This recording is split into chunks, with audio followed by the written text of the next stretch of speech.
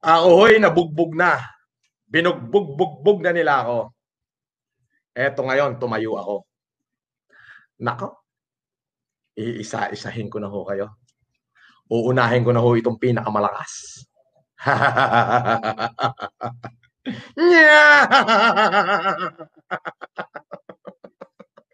mm-hmm. Balita ako hoy, si Arn Arn eh hindi raw ho nag ano, hindi raw ho nag-broadcast. Mm-hmm. Ako ho hindi ko siya kayang hindi ho ako aatras. Katulad ho nung pinangako ko, aaraw-arawing kita, Arn Arn. Mm-hmm. Aaraw-arawing kita. Umaga, upload, tanghali, upload, alas 11 ng gabi, live, pati kay Kabisi TV hanggang paumagahan, ikaw ang topic ko. Hindi kita aantrasan. Bakit?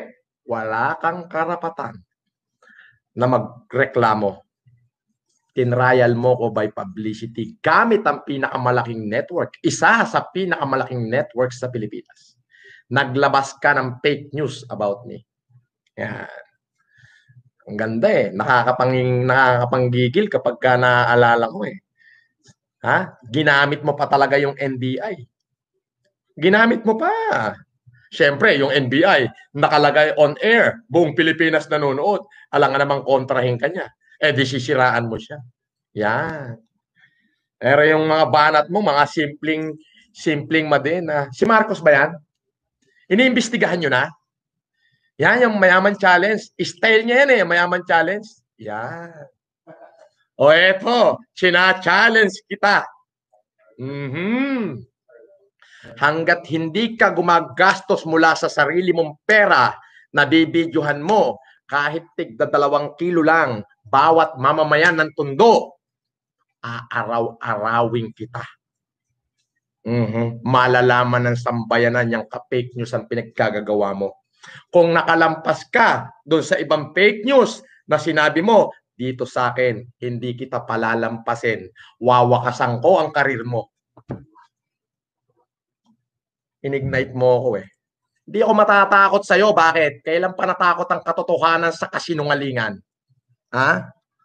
Gawa, gawa ka ng issue. Tawag ka kay kumpadre, kay kumare. Lahat tawagan mo na. Gawan nyo ng paraan para sirain ako. Gawan nyo ng paraan. Lahat. Hmm, pa-shop shooter nyo na ako kung kinakailangan kasi hindi kita lulubayan. Inignite mo ko, natutulog na ako. Nananahimik ako, hindi kita kilala. Tinrial mo ko by publicity, sinira mo pagkatao ko sa buong Pilipinas gamit ang pinakamalaking network. Gamit ang pinakamalaking TV network. Oh, ngayon, kayo na ho ang humusga mga kababayan kung ano ba ang dapat nating gawin dito sa taong ito?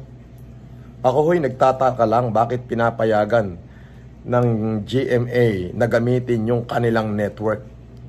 Yung kanilang dambuhalang network para mag-broadcast o mag, uh, mag-announce ng fake news itong si Arnold Clavio.